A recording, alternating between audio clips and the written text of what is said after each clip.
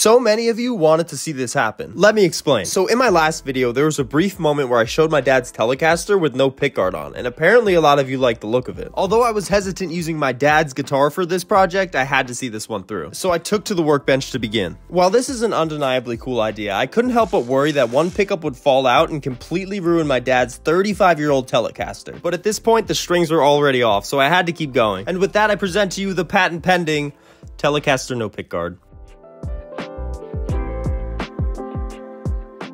Before I have to put this thing back to normal, here's a tone test.